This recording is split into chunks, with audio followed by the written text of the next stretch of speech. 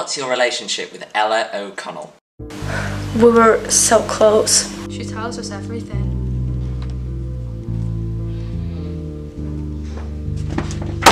I need to get out of here. Why? I hate my life.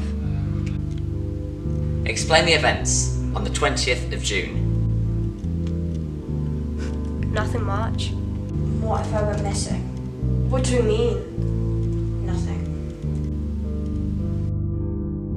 What do you suggest happened to your friend?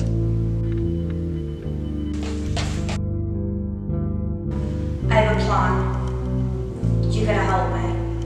With what?